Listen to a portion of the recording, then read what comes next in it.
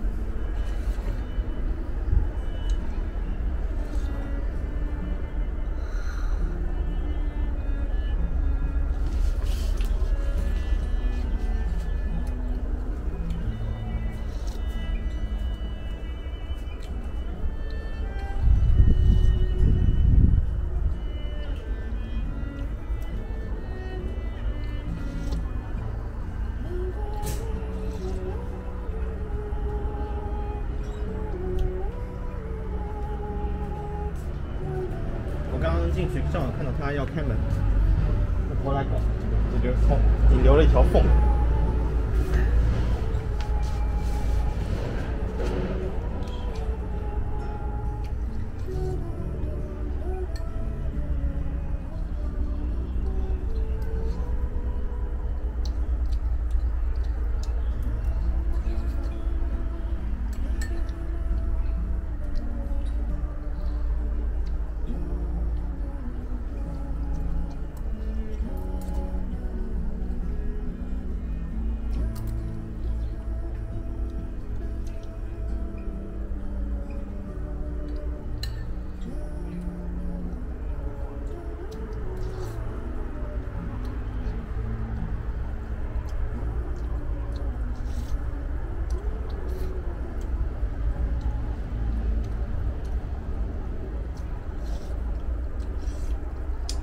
这汤太好喝了，素鸡汤。晚上我们吃炸鸡翅，嗯然后那个烧起来的，嗯，其实就普通的烧。好吧。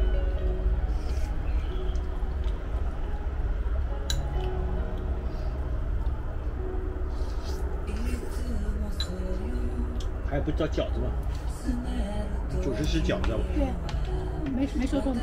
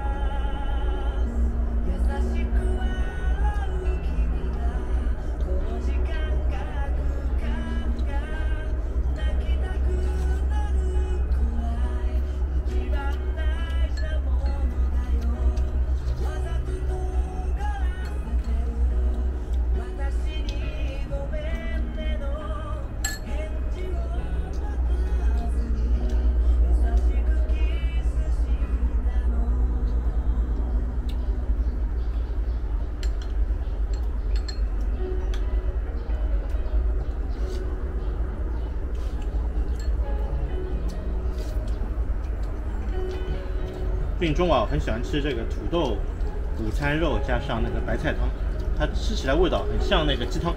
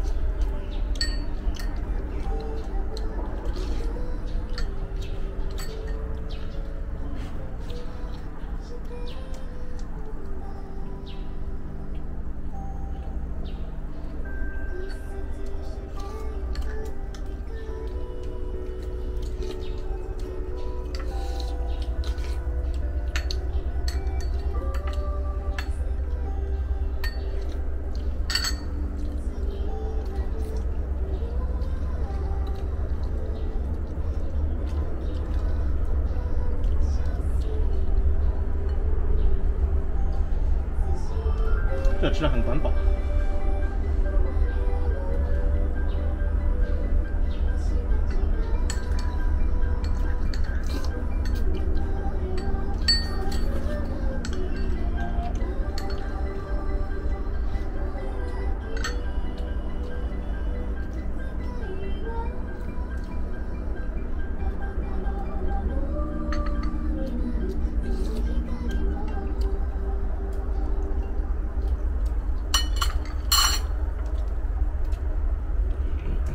饭吃的和昨天的一样，早饭和午饭基本上都是固定的，晚饭每天吃的不一样。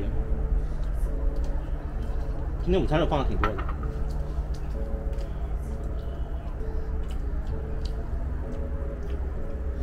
再喝一碗，我也喝不了。现在断掉晚上喝。啊，我再吃一块，也饱了。晚上准备吃馄饨，要不然吃饺子，煎个鸡翅，然后我老婆再烧个茄子。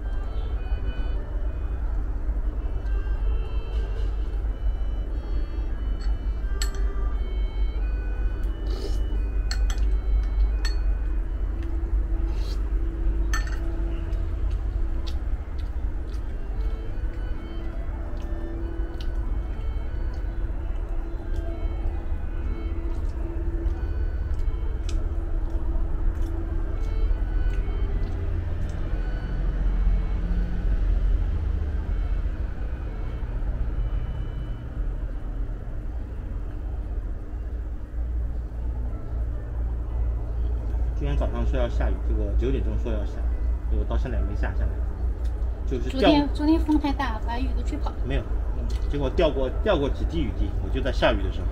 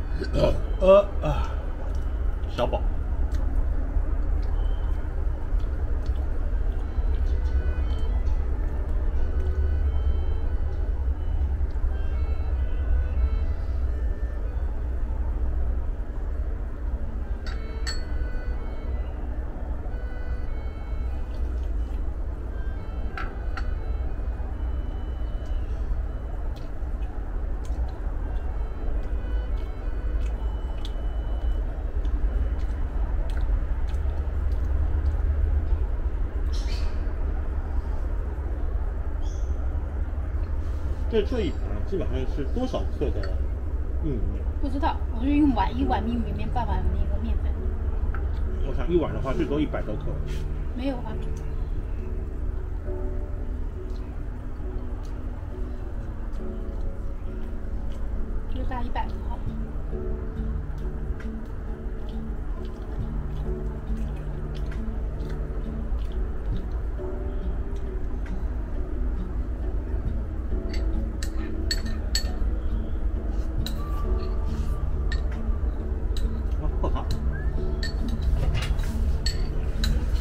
一顿简单的午饭就吃好了。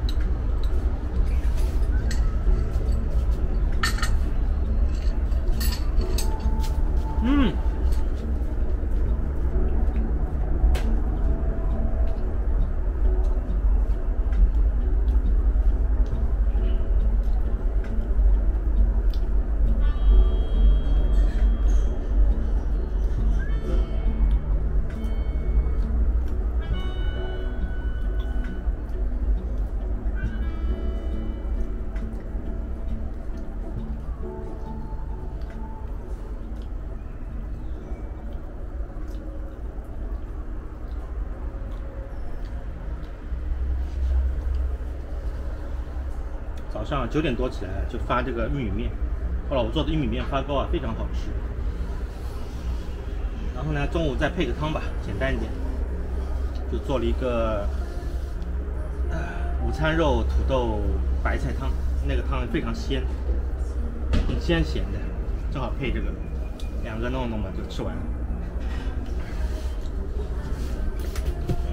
最近这几天也不想特别吃什么东西，早上呢，我一般就玉米玉米碴子粥，加个鸡蛋，再加个拌菜，或者是山姆里买的，呃，就是山姆里买的那个叫什么的紫米杂粮粥，也可以。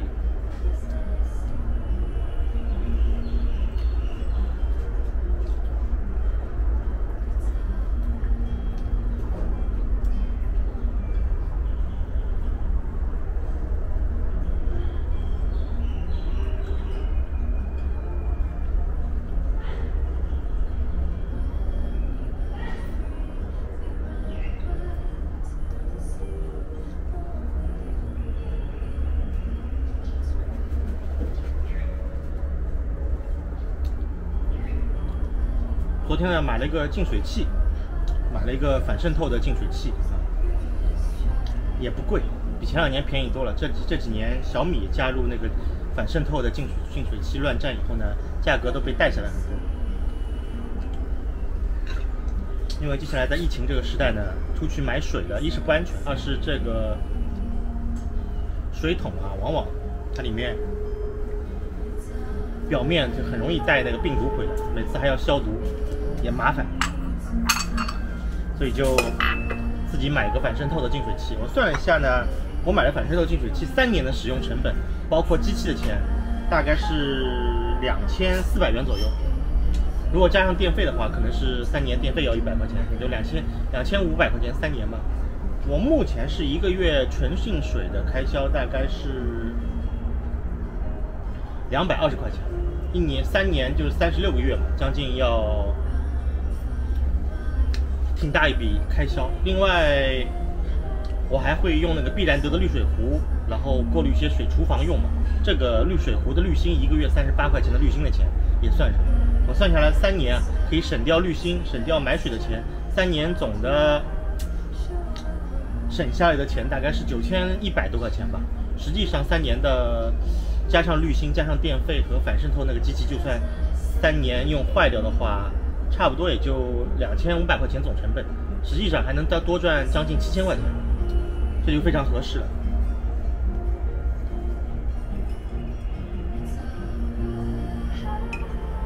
吃完以后呢，稍微喝点红茶。最近家里茶叶也要没有了。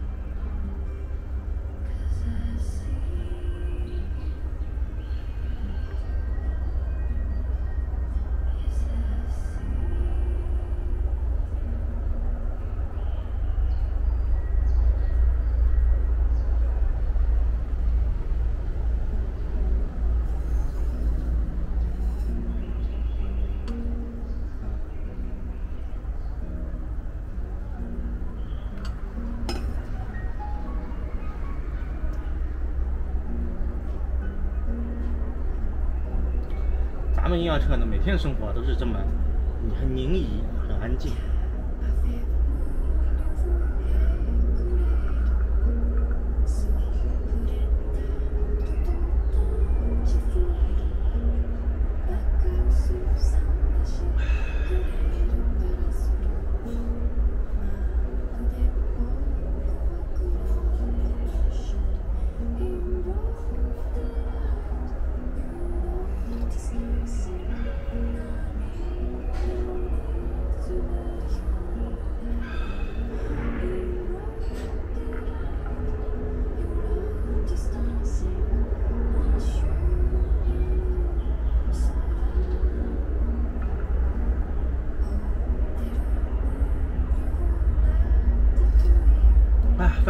瓜子壳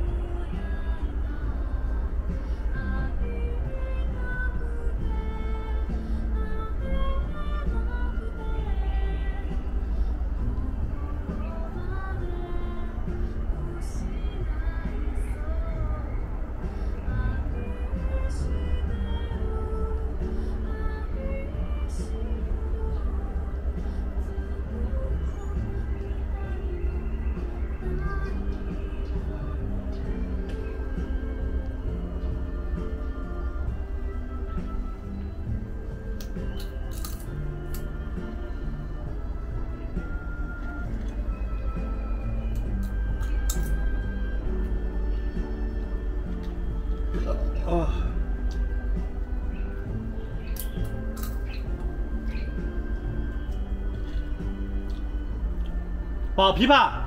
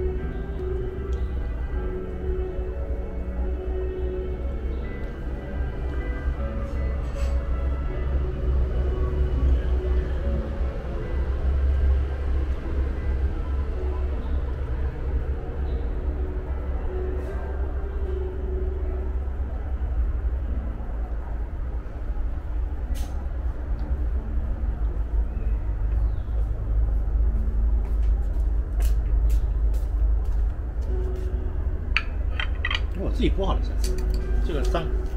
嗯，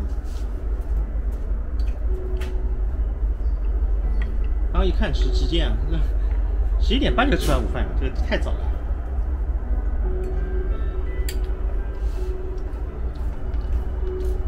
这种刀切还不干净啊，我自己剥剁。嗯我嗯，因为我也是用刀切的呀。下次不用了，就帮我直接丢过去，我吃两个。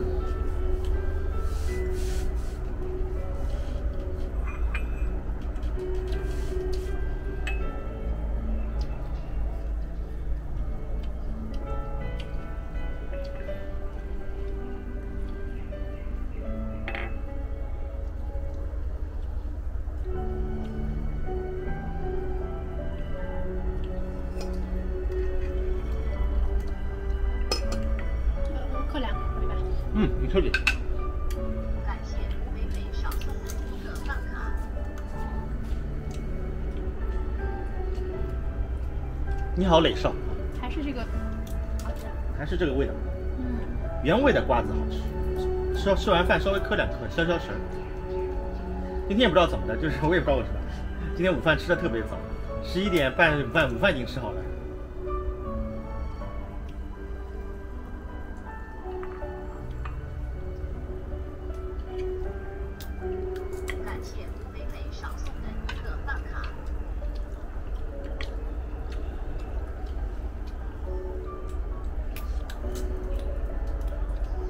昨天晚上研究了一晚上，买了个净水机。以前家里用必然德记滤水壶嘛，再加上那个我喜欢买小桶的怡宝，因为大桶的那种桶装水啊，我觉得不干净，这个桶啊重复消毒，多不干净。以前差不多一呃一个礼拜要六桶，一个月差不多要二十二、二十三桶左右的五升装的怡宝吧。现在涨价了，十块钱一桶，差不多一个月两百二。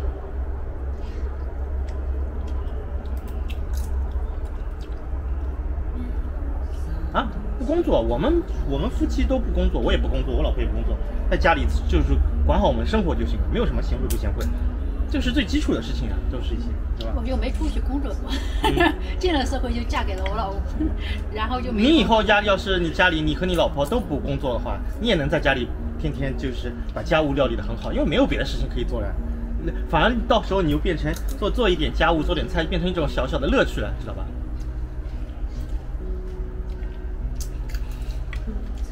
我跟我老婆，我我还在外面，就是跟人家合伙啊，做古玩玉器，有做过一年，不到一点。除此之外，我也没上过班。我老婆是一辈子没上过班。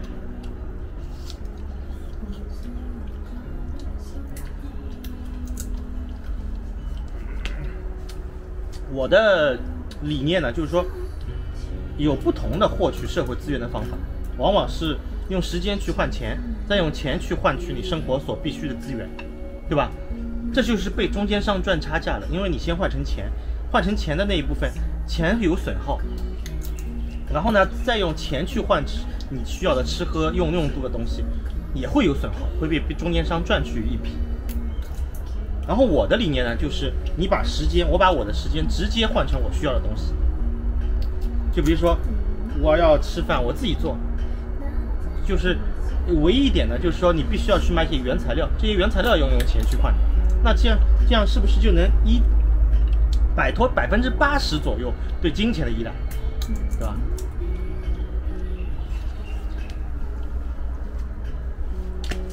所以我生活中的大部分东西啊，都是买了原原材料，自己用自己的时间把它变成我需要的东西。这样的话，我就绝大部分的生活就不是花时间去换钱，然后再用钱去换我需要的东西，就少过一道手了。这样的话，我的效率就高很多了。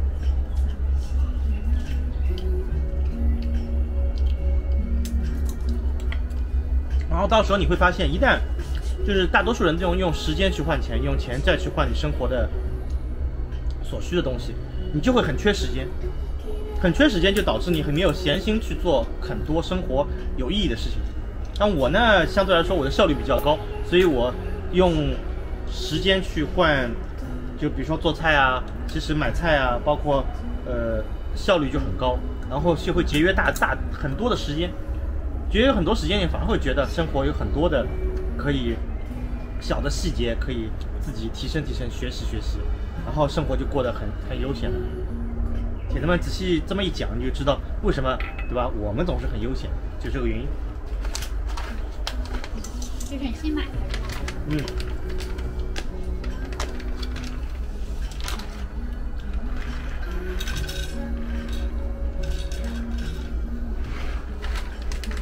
这个呢是从理论上都可以解释的。那如果呢，我我老婆要去上班，她回来以后也很累，她哪有闲心去去去去研究这些吃喝的东西啊？对吧？就是因为现在闲了嘛，我的时间利用效率高，不用花太多的时间去换钱，因为我时间直接可以转化成我需要的东西，大部分啊。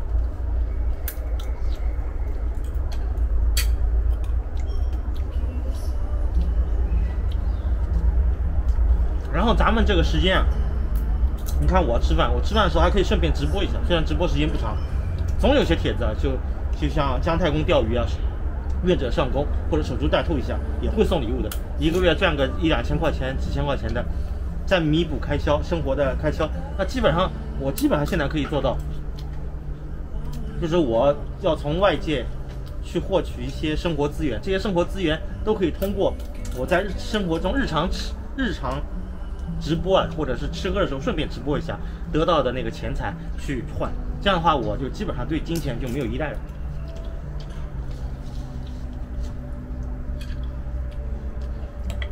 这样的话好处呢就是可以帮自己赢取大量的时间。人生啊最重要的还是时间啊，并不是钱。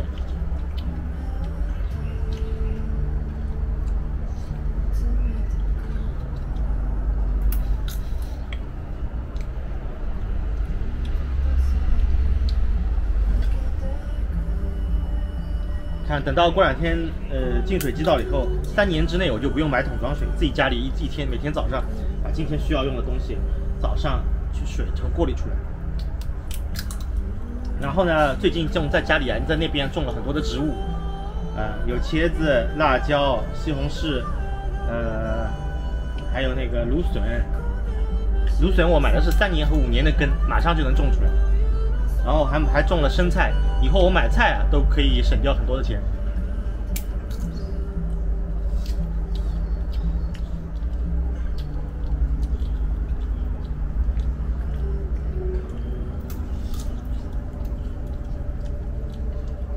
想想看，这是不是一一一条未曾设想的通道啊？人间大道啊，九万条，随便走你你走哪一条啊？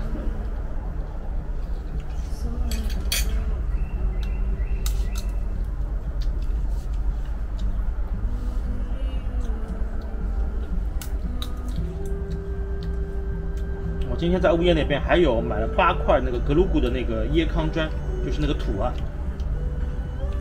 还有一个新订的一个种植箱，蛮大的一个很厚的种植箱。那种植箱专门用来种芦笋，因为我买了一点那个芦笋的五年的根根苗啊，差不多两个月就能种芦笋出来。芦笋呢是很好的植物，种播种下去啊，前三年它是养根的，然后呢，那到第四年开始啊才开始爆芦笋。一旦开始爆芦笋以后呢，你就每天啊就拿拿把剪刀就剪嫩头就行了，像割韭菜一样，能连续啊后面能爆个十五年左右。这个东西啊就是低投入低投入啊，高回高呃就低成本高回收。你有了芦笋，然后再种点青菜，种点种点那个叫什么呢生菜，那基本上家里的蔬菜都可以自给自足了。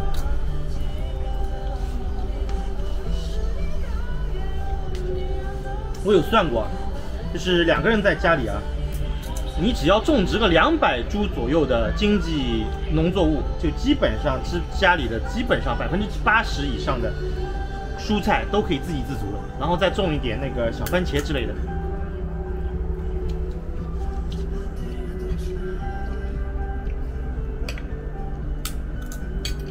好，这个抓紧吃，要氧化。你一直拽着那个什么叉子，你可以拿嘛之外再擦。对，我有我不拿。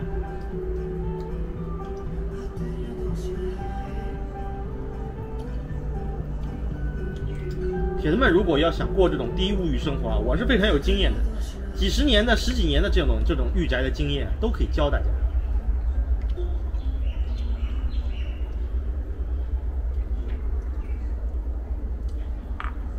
你看我啊，就是生活过得不错，又不用花特别压力特别特别小，然后想想吃想喝想用，其实什么都不少，然后钱呢，这这么多年来还是越赚越多，对吧？不谈了，知道吧？这个其实都是很有，这里面都有，别看这个简单啊，都是很有技术的。哦，有空都可以慢慢教教大家啊。就别别看御宅这么简单，你起码要会做两百道菜，两百道基础的家常菜，米面、烧烤、BBQ，才能在家里待得开心。你在家里没吃没喝，那开心不了。你要什么东西像我们这样都能自己做，自己，我想吃烧烤吃烧烤，对吧？想吃家常菜吃家常菜，想吃海鲜吃海鲜，只要我们外面买的菜，我自己家里加工一下，都可以做出来，这才能过得开心啊！你在家里去光待着，你什么都不会做，那你开心个屁呀，对吧？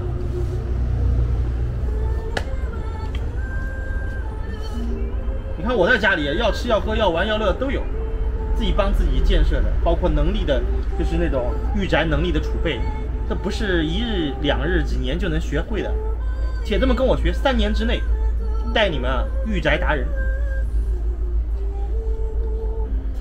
然后这辈子啊，就是尽量减少啊一半以上对金钱的需求，然后你就可以花近一少一半的时间花在去赚钱上。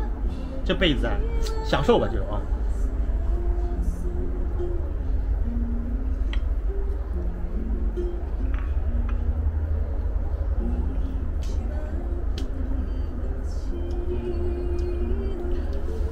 人嘛，就是年纪轻的时候要吃点苦，就是至少要要苦个八年十年的。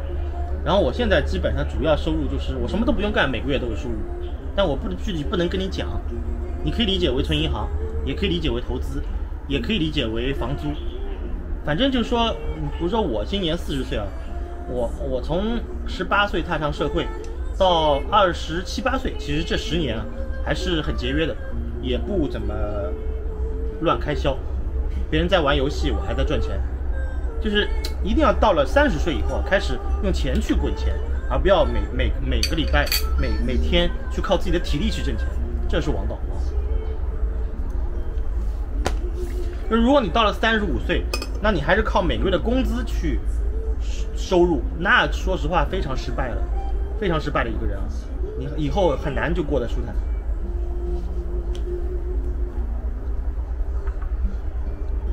但这这东西呢，就得靠眼光，就是不管是投资理财、房产交易，还得是个人要靠眼光。有的人越做交易他越亏，有的人越做越赚。你看我最经典的交易就是，我看准了去年三月份的时候是上海房产房价的一个高最高点，对吧？然后我我现在就算我我我拿着钱再买回原来的房子，我也能赚一百万多赚。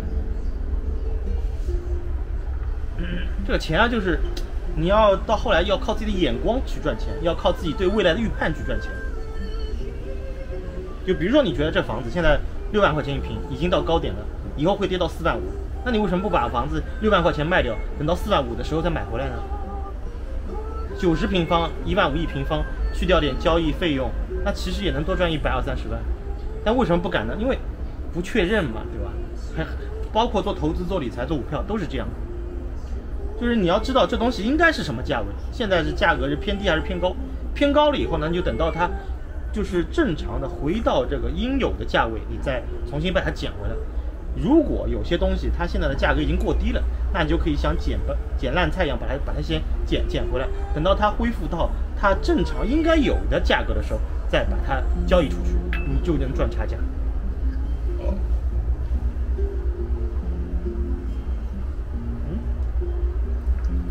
我刚才说，我现在每个月大概是生活开销是四千六百到四千六百元左右，对吧？其实这个钱呢，本身我啥事情都不用干，我就能有。然后呢，每个月做做直播，上个月直播赚了两千块钱，然后还有一些别的收入，还有一些投资理财啊、做股票的收入。就基本上你给我一百万，我我，你不是说用多少年的事情，就是我还能帮你赚出来多少，你你懂我这个意思了吗？啊，不花钱反而能倒挣钱，但是什么事情都不干，这就是我的生活理念。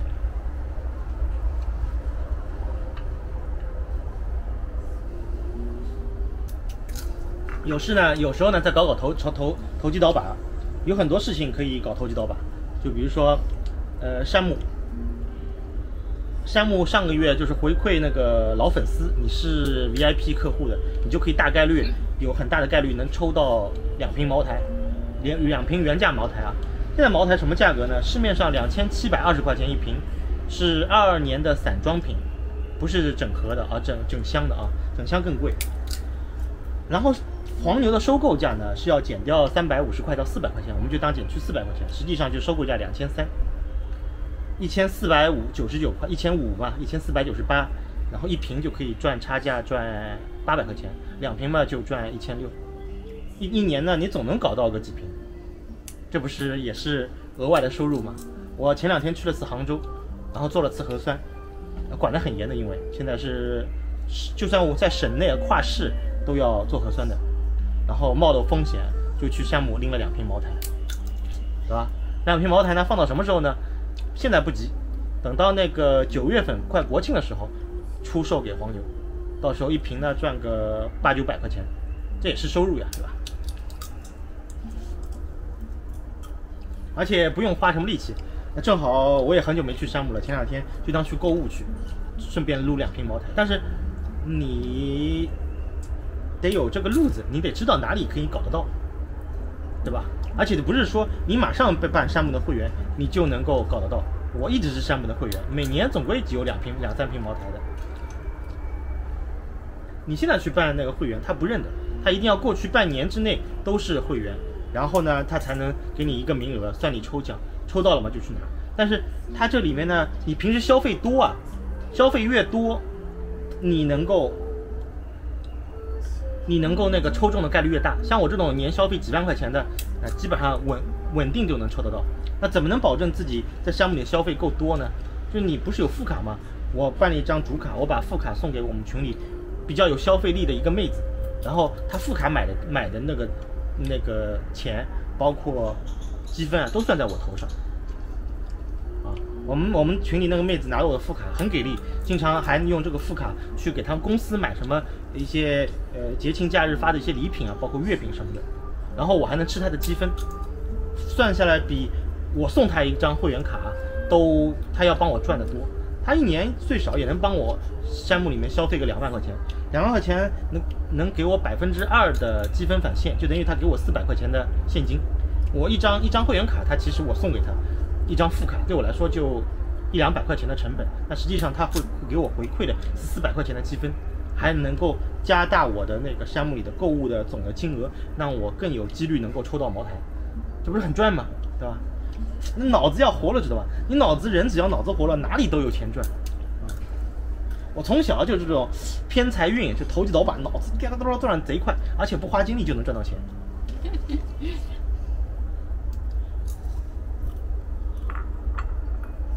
山姆会员，我的山姆会员是六百六十八块钱一年的，就是会员费六百六十八。但是放心，就基本上他一年的你自己买东西的积分返现，包括副卡你送给别人，副卡你一定要送给一个很有消费力的人，他肯定很高兴。然后他的他的消费全部积分返现在你的主卡上，一年光那个就是积分返现能给你的现金红包就得有一千多块钱，所以这个他那个六放心，他那个六百多块钱的卓越会员卡给你白送给你的，不要花钱。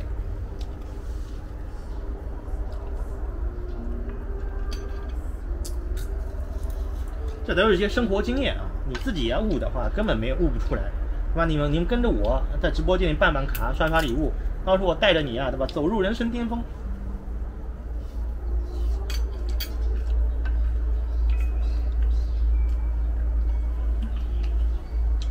以前盒马会员也有时候也会有有一瓶到两瓶茅台的，但是呢，这些剂呢不稳定。比如去到去年就没搞，今年也没搞嘛。今年因为上海有疫情的话，上盒马在上海的活动也没搞。然后每天早上呢，你家里不是好几个人嘛，装个爱茅台的 A P P，有时候晚上调个闹钟，八点钟去京东啊，或者或者天猫啊抢抢茅台，运气好的话，一年总能抢到几瓶的，对吧？一瓶就七八百，一瓶就七八百。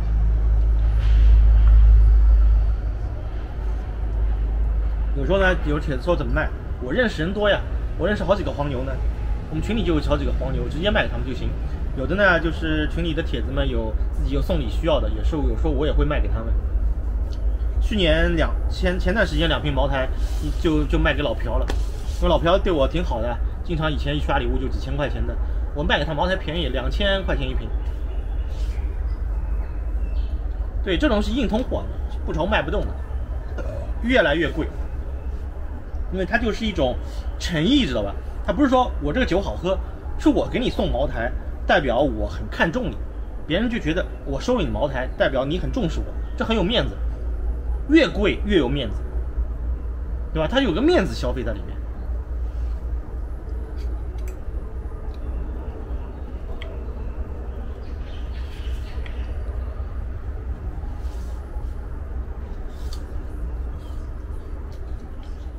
在家里家家里啊，做做直播，搞搞这种抢抢这种茅台啊，以前像球鞋啊什么都可以搞。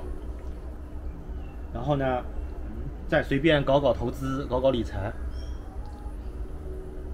都能够那个赚钱嘛。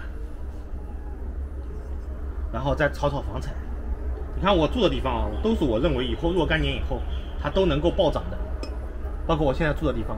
我都认认为，等到老龄化以后，大家都退休，很很多人都想厌倦了城市，都想要有一个小院子，以后都能够暴涨。我在临港待了就八八年半九年吧，临港的房价暴涨了五倍，九千多一平，暴涨到五万块钱一平。虽然现在跌下来了，但是我也变现了。我现在住的地方，我也是考察过，我认为至少有两一倍到两倍左右的涨幅的潜力。但是需要时间，有可能是这个时间说不准，谁知道它什么时候暴涨？可能是三年，也可能是五年。但但是只要是能到这个价位，几年无所谓的，反正我在待这这待的也很开心。我以前在临港待的也挺开心的。这其实你全部都送好了，就是说你住的地方有升值，然后呢，你一边在呃生活中搞做过自己正常生活的情况下，还赚赚钱，再搞搞投机倒把，再做做投资，可能比你在公司上班要赚的不知道多多少了，对吧？但是这毕竟是一种就是很难捉摸的东西，它需要技术，这是一种生活的技术，知道吧？所以你们在我直播间呢，就是其实就是潜移默化的，等于我是你们的师傅，我会教你们生活的技术。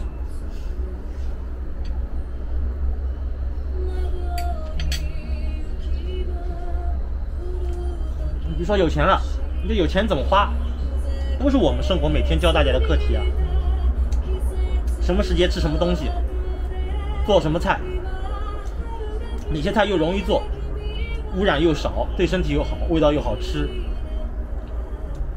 然后有些同有有些帖子，有了钱，会所嫩模去按个按个摩什么的，这个真东西啊，都不是咱们婴儿车追求的东西。这种东西呢，我管它叫转瞬即逝的快乐，它不长久。很多宗教里面都是不鼓励这种消费的，因为它都是一下子短暂的快乐。我们教大家的，或者我自己生活里过的，都是那种长长久久的快乐。就是小确幸，什么叫小确幸呢？就是你想要有就有，这就能有的快乐，对吧？比如说我现在晚上想吃红烧大虾了，我老婆大虾做的很好，那我今天下午就去去开车出去买个虾，晚上我老婆就能做出来，这种都很确定的，不像你什么会做嫩模，你今天有钱就去玩玩，或者你明天兜里没钱了就去不了，你想去也去不了，不是徒增伤悲吗？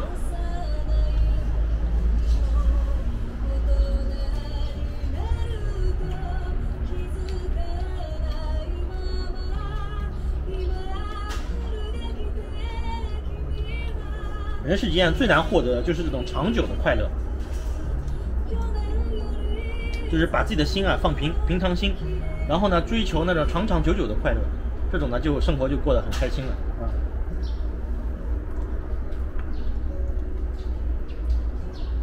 感谢黑色剑士送的一个饭卡。哎，你好，黑色剑士啊！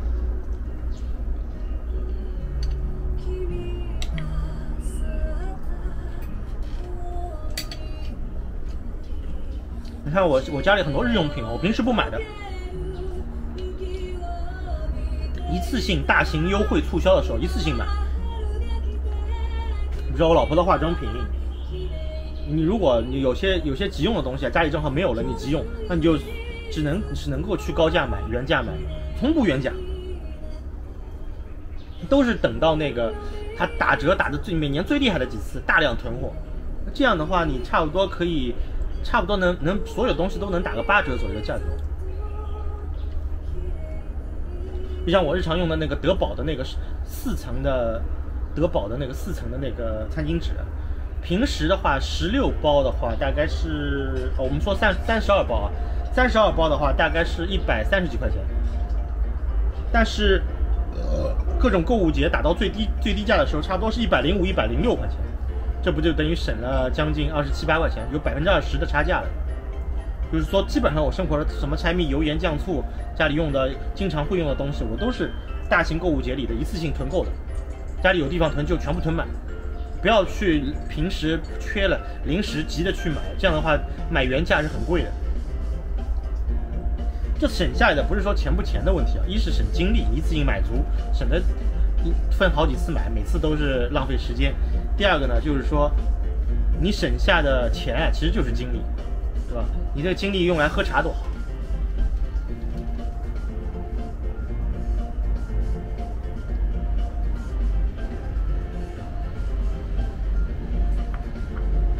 哦，纯天然的食材啊，你跟着我就对了。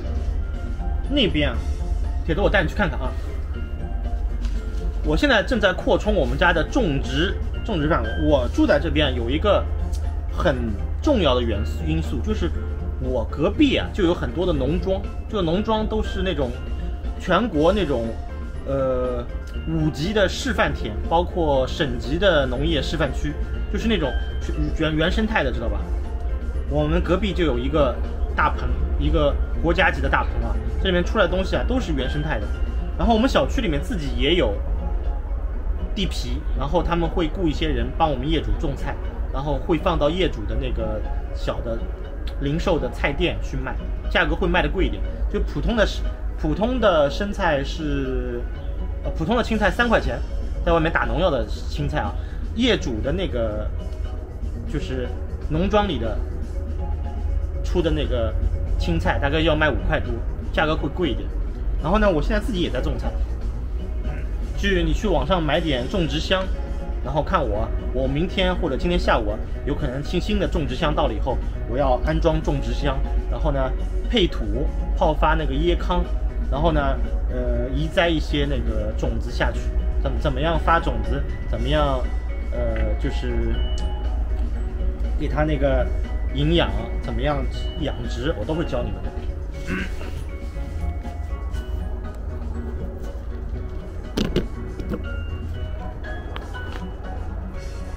你看，这是我的种植箱。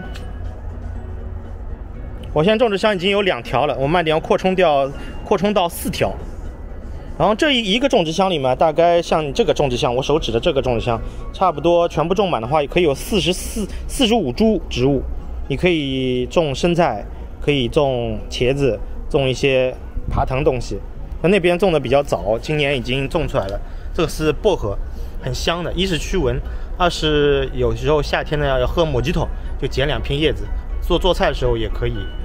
然后那边边上的小苗是前两天刚种下去的，现在还在育苗期。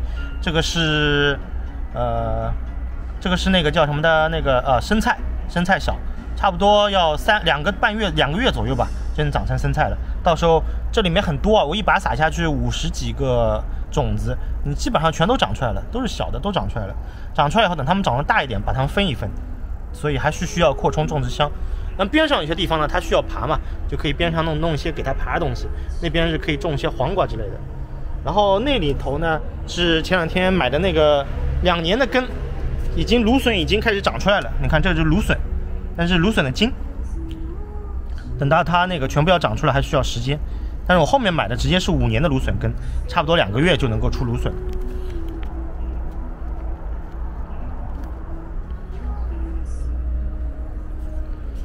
这样的话就是外面买一点，买一点就是不打农药的那种好的蔬菜，然后自己家里再种一点，基本上就是就够了嘛。铁子们说是不是？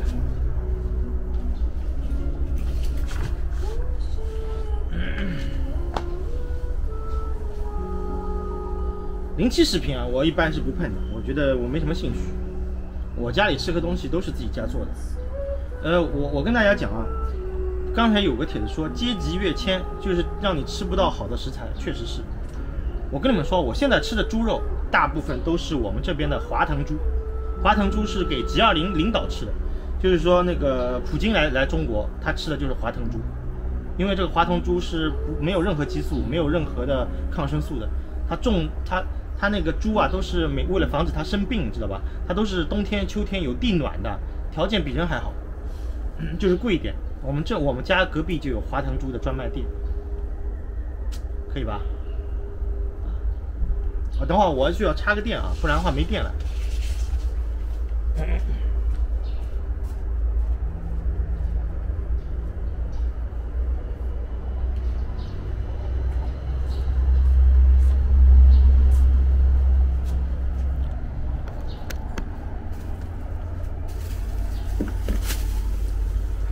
然后呢，蔬菜呢，就是以后自己种一点，种占种的部分占一半吧。另外在农农庄里面再买一点，我们买得到农场菜，再买一点农场菜。有些买不到的，偶尔外面这种普通的菜场的菜，偶尔吃一点。牛肉呢，有机会嘛就去山姆买，一般我牛肉吃也不多。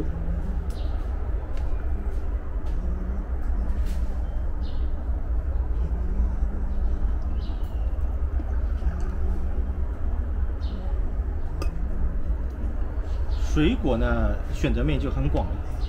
现在很多水果，像这个枇杷，我就直接从那个四川那边直接买。现在顺丰过来很方便。这样的话，就是吃喝的东西就基本上和普通人就拉开，拉开了就区有区别了，知道吧？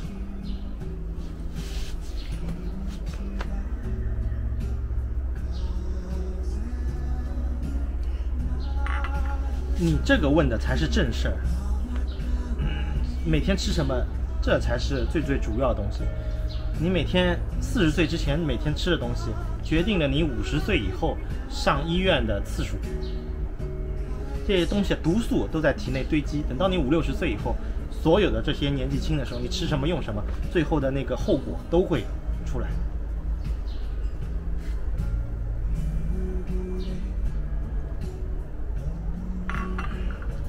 那铁子们，如果是没办法的话，你就是说在大城市里面，如果在上海，你想吃到这种不打农药的菜，或者是原生态的菜，我帮你说为什么农民不愿意那种都一定要多打农药？因为我前两天给我老婆看过，一份那个同样是生菜，打农药的生菜和不打农药的生菜，完全是两个卖相。不打农药生菜上面都是虫的洞，你你就基本上不会去买。而且长得也一多，就是个头也小。打过农药的菜看上去很饱满，看上去很健康，反而是最不健康的。菜这东西就这样，你越看上去健康，越是饱满，越是不要去吃。越是看上去不健康，虫洞多的，就是好。你在上海的话，也有办法吃到这种原生态的蔬菜，就是像多利农庄这种，这种有机农场，但是价格非常贵。就是多利农场是有有种券嘛，大概是。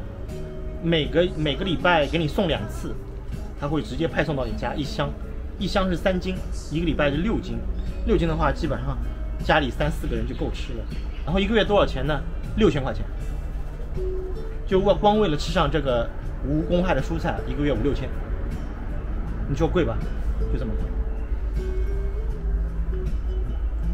都都可以，上海也有上网订购的地方。来得及，随没有来不及的事情，人生中啊没有来不及的事情，你只要现在能能开始做，尽量就开始做，没有来不及的。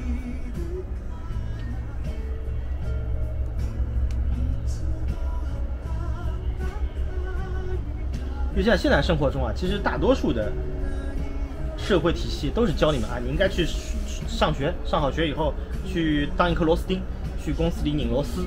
然后通过你拧螺丝赚到的钱，你去你去兑换你想需要的东西，比如说吃的喝的什么东西，他们就需要你这样。然后呢，不让你学任何生活技能，因为这样的话只留下你唯一的获取生活物资的方法，就去上班。然后上班以后获取再去换，用那个得到钱以后再去换。这样的话，他们中间能够抽成抽的更多。像我们这种啊，已经属于异类了。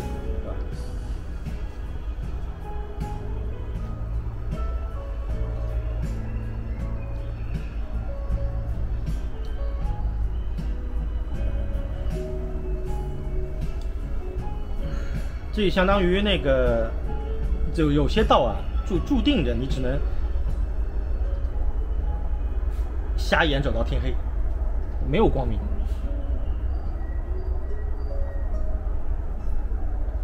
上海，我上海的公寓还没有租出出租出去呢，因为我就想啊，什么时候那个收入不够了再租出去，不急的。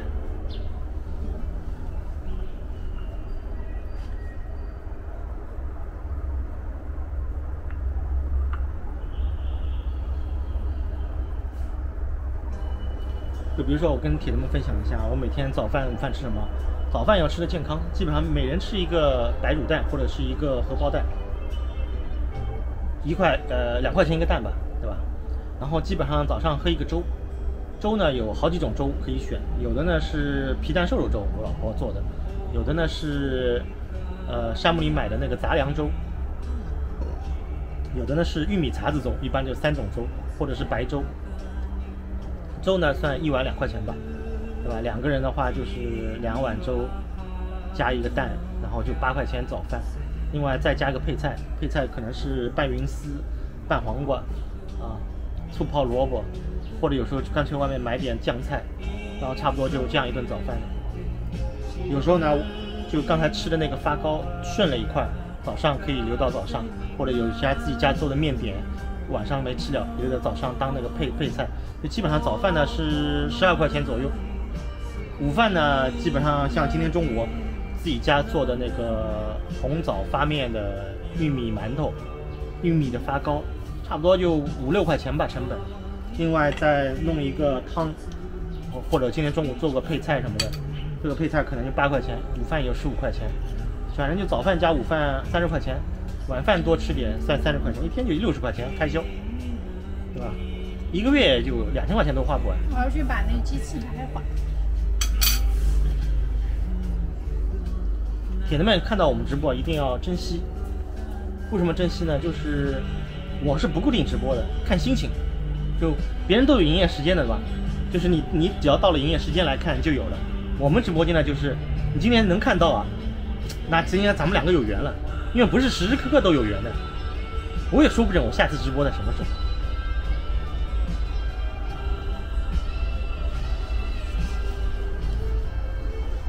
就是一般饭点可以来看看。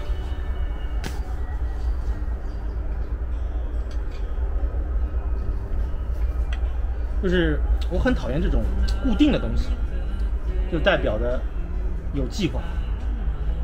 人生何必要有计划？我什么时候直播，为什么要有计划？是不是？我更相信那些虚无缥缈的东西，就是时运啊、缘分啊之类的。相见即是缘分啊！办卡办起来。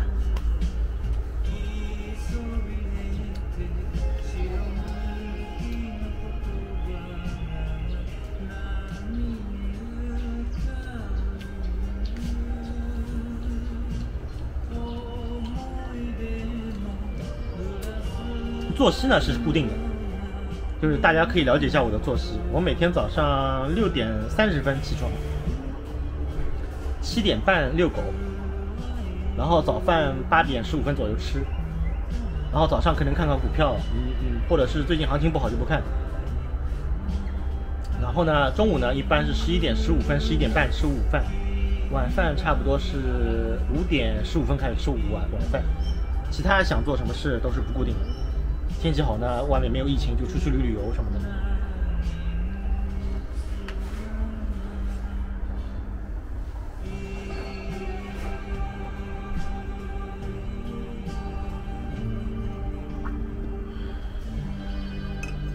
每天吃的东西呢，就早饭和午饭呢相对固定。早饭就是喝粥啊，弄点配菜、鸡鸡蛋什么的。午饭和晚饭呢，就是可能是最近我我我我有些固定的菜谱的，几百道菜嘛。在这个这个菜谱里面，我想吃什么东西，就家里有的话就随时都可以做。好，就比如说我现在冰箱里有哪些食材啊？我那个都有那个手机上都有账本。我现在冰箱里有哪些菜，我随时都能知道，有哪些菜可以很方便的做出来。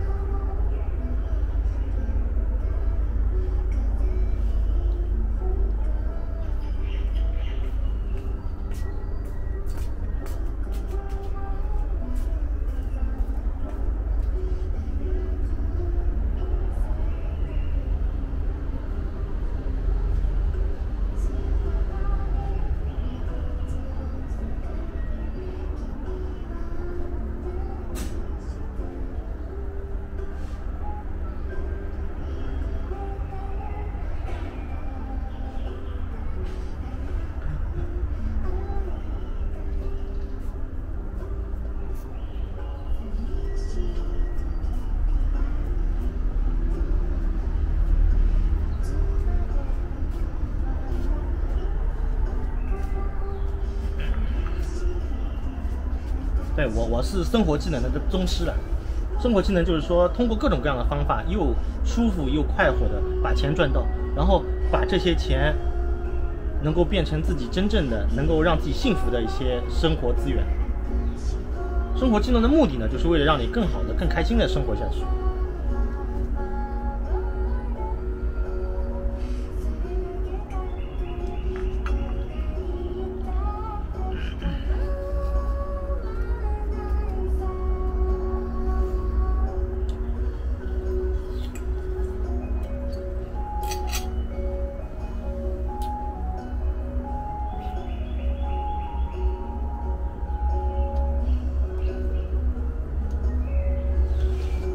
社交呢，我就觉得是可有可无的东西。我喜欢网络社交，网络社交呼之即来，喝之即去。你和谁不开心啊，分分钟就可以把他踢了，也不用攀比，对吧？然后呢，人都有炫耀的心。如果你在生活中你想有什么东西想让别人知道，就比如说你在线下生活中，你买了一辆跑车，想让别人知道你有有这个跑车，其实挺难的。你可以做直播。做直播可以，你可以把自己的生活展示给别人看，人都有想炫耀的心嘛。但这种炫耀的心呢，一是不会给自己树敌，二是没有什么成本，三是效果非常好。所以我推荐大家有事没事也可以做做直播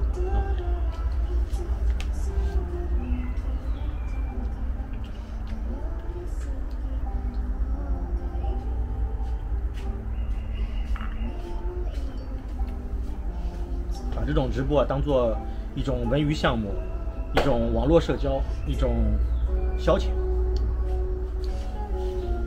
好了，那个午饭吃好了，我要进屋了啊，休息休息，打打游戏，拜拜。今天晚上呢吃那个饺子，然后我老婆再给我煎点那个鸡翅，可能也在院子里吃，但是说不定，因为万一下雨呢？下雨的话就可能就在屋里吃。呃，一般晚饭吃的时候呢是五点十五到五点半左右，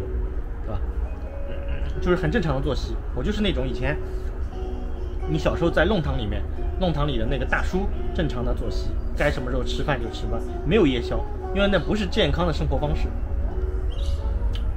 铁子们，就跟你们说啊，你现在的生活生活作息健康不健康，你只要看你做什么事情的时候，我也是不是也在做什么事情。比如说我吃饭的时候，你在吃饭的时候开直播，我在吃饭嘛，那就你放心了，你的生活方式是健康的。